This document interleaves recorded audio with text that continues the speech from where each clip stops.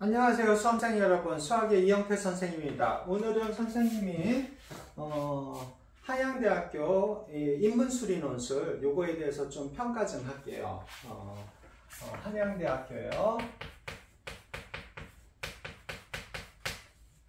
2002년도 기출이에요. 2022년도 2022년도 기출 어, 되고 상경 계열이요. 상경 계열 어, 선생님이 지금 하다 보면 어, 수리 논술을 하다 보니까 인문계들 쪽에서 우리 대학교 뭐 한 7, 8개 있잖아요. 뭐 한양대, 경희대, 중앙대, 숭실대, 항공대 또 뭐뭐가 있죠? 어, 연세대 뭐 이렇게 해가지고 어, 괜찮은 데들이 있는데 선생님이 자료를 뽑는 거는 일단은 기출문제를 위주로 좀 하고 있어요. 그래서 예시문항도 있지만 지금 이렇게 보시면요. 한양대학교 기출문제 어, 링크에 연결해 놓을게요. 문제는 어, 수지카페에다 수지카페에 어, 링크 링크 걸어 놓을게요. 어, 밑에 설명란에 링크 있을 테니까 같이 연결해 드리도록 하겠습니다. 그러면 어, 한양대학교 기출문제를 성경계열을 선생님이 분석을 좀 해볼게요. 분석이라고 해볼게요. 분석. 근데 사실 이 분석이라는 거를 디테일하게 할 필요가 없어요. 사실 되게 단순해요. 우리 선생님들은 자꾸 이거 문제를 어렵게 어렵게 얘기를 해주는데 수학은 오컴이 면도날 이론이라는 게 있어요. 복잡한 거 필요 없어요. 면도날처럼 자르면 끝인 거예요. 어, 프린트 하셔서 상경계열 한번 볼게요. 1번서부터 문제 1번은 뭐 가히 잠김 현상에 대한 요인을 나에 대해서 참고하고 다이 A포털 사이트의 성공과 세력 요한을 활용하여 분석하시오. 뭐 600자, 50점 뭐 이렇게 돼서 순수 뭐 글쓰기 형태인 거예요. 그 다음에 문제 2번 볼게요. 어, 문제 2번 보니까 50점이 어, 1번, 2번, 3번으로 나왔어요. 그리고서 선생님 어, 사양대에서 준 것은 논술 예시답을 줬어요. 그렇잖아요. 인문계 글쓰기는 좀 정확한 예시답안을 주기가 힘드는데 어, 이 수리 같은 경우는 어, 예시답안을 바로 줄 수 있으니까요. 그런데 1번, 2번, 3번 형태를 볼게요. 1번 퀴즈수 A에 상금이 걸린 두 개의 문제 Q1, Q2가 주어졌다. 두 문제 중에서 처음으로 도전한 수를 무작위로 주어진데 뭐 기타 기타 돼 있어요. 그랬을 때 문제 어, Q1의 상금 R안을 구하시오. 자, 1번 보세요. 1번 우리 2번의 영역에서 기대값 구하는 거예요. 기대값 구하는 거. 당연히 기대값을 구하면 통계 파트이기는 하지만 확률하고 연결될 수밖에 없어요. 2번 보세요. 두 사람이 한 개의 동전을 각각 n번 던졌을 때 나오는 횟수를 확률 변수 xy, xy 값의 차를 n에 대한 식으로 나타내야 해서 이 통계 파트, 확률을 통계로 이용하는 거예요. 이것도 어떻게 보면 확통이라고 할게요. 확통. 여기도 확통이라고 할게요. 확통. 항상 통계와 확률은 이어질 수밖에 없는 거니까요. 세 번째 볼게요. 세 번째 문제. 어느 공장에서 생산된 A, B 무게를 확률 변수 X와를 했을 때 X의 정규 분포표 X와 A, B 뭐 이렇게 가나 있어요.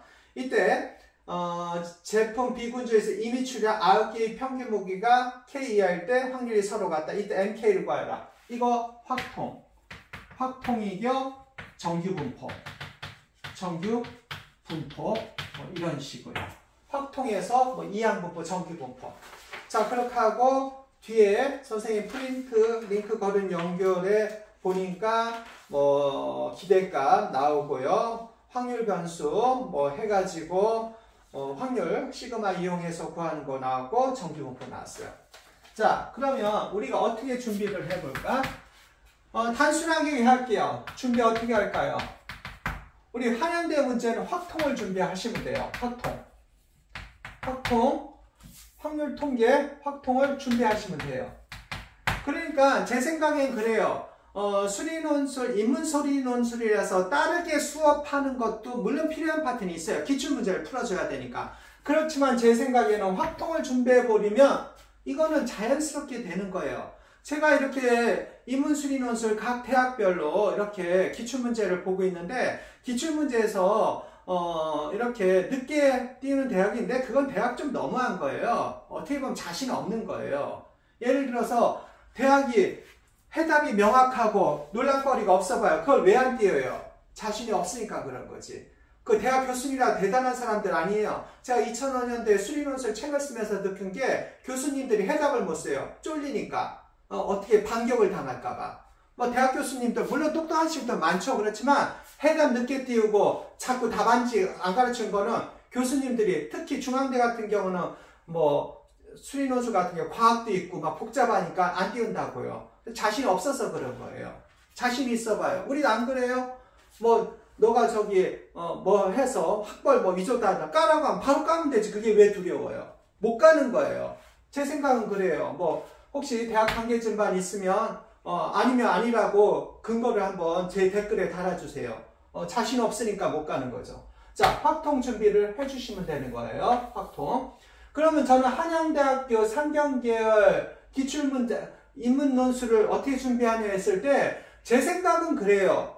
제 강의에서 인문수리 논술 물론 지금 선생님이 기출문제 위주로 이 비공개 동영상으로 일부 공개 동영상으로 쌓아놓고 있지만 그것도 뭐 나쁘진 않아요. 한 해에 뭐, 뭐, 네 타임 강의 정도 들으면, 인문 같은 경우는 제가 보니까 한 네 타임 강의 정도 들으면 나쁘지는 않은데, 굳이 그렇게 돈 많이 써가면서 이걸 뭐 따로 준비할 필요가 있을까? 기출문제 풀어보면 되잖아요. 좀 어려운 거 하고. 그래서 저는 어떻게 되냐면, 단순하다.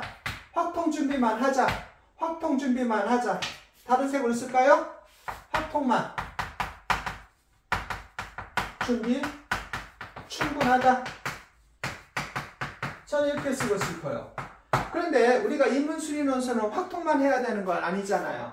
자, 항공대 문제 보면 수완하고 수투, 우리 과거에 배웠던 것도 있으니까 제가 봤을 때는 수능 범위만 준비를 하자는 거예요. 그리고 수학, 고1 때 배웠던 수학 상하는 기초적인 개념 알고 계셔야죠. 그건 당연히 수능에도 필요하니까. 그래서 확통만 준비하고 다른 학교를 위해서도 수완하고 수투, 그러니까 수능 범위만 해도 공부해도 된 거예요. 수능 범위만.